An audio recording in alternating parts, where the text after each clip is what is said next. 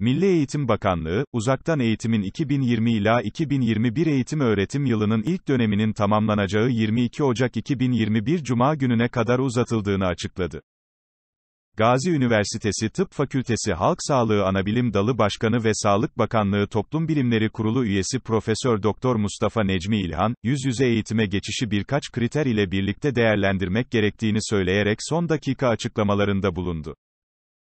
Profesör Doktor İlhan, önce toplumda koronavirüsün yaygınlığının ne durumda olduğuna bakılması gerektiğine vurgu yaparak, okullar acaba enfeksiyonda nasıl bir rol oynuyor, bunu değerlendirmek gerekiyor. Şu ana kadar yapılan değerlendirmelerde okullarda olan çocukların çok fazla miktarda enfekte olduğuna dair elimizde bir bulgu söz konusu değil, bunu Sağlık Bakanımız açıklamıştı. Geldiğimiz noktada elbette okulların açılıp açılmayacağını değerlendirmemiz gerekiyor dedi. Profesör Doktor İlhan, yılbaşında 4 gün sokağa çıkma kısıtlaması uygulanacağını anımsatarak, Milli Eğitim Bakanımız da yılbaşından sonra okulların açılmasının değerlendirilebileceğini söylemişti. Benim kişisel görüşüm şöyle, ara tatili bekleyip, ara tatildeki vakaların yaygınlığına göre değerlendirme yapmak daha doğru olacaktır. Şubat döneminde değerlendirme yapıldıktan sonra belki sadece vakaların yoğun olduğu illerde bir kısıtlamaya gidilebilir. Vakaların yoğun olamadığı yerlerde okullar yine baştaki sıra ile daha küçüklerden başlayarak, sınavı olanlardan başlayarak açılma yoluna gidilebilir diye konuştu. Aşılama şemasında öğretmenlerin ikinci öncelikli grupta yer aldığını belirten Profesör Doktor İlhan, şunları söyledi.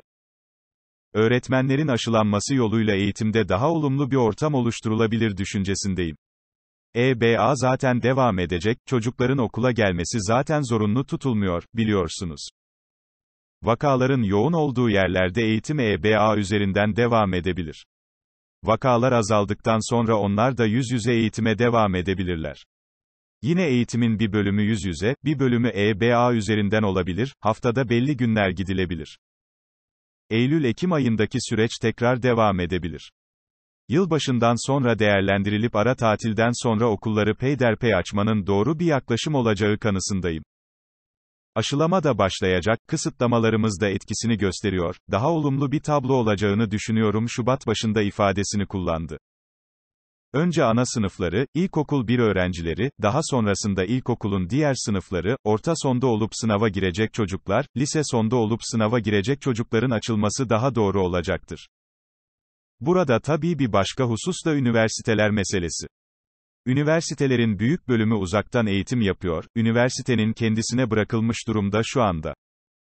Üniversite öğrencileri için de her üniversitenin Şubat dönemini değerlendirip, bu dönemdeki vakaların, hastaların gidişatına göre karar verecekleri düşüncesindeyim.